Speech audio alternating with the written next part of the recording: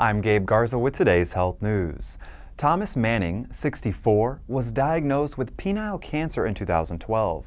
According to CNN, earlier this month, doctors at Massachusetts General Hospital performed the first U.S. penis transplant on Manning.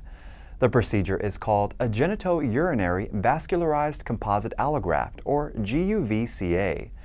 It involves surgically grafting complex microscopic vascular and neural structures of a donor organ onto the recipient.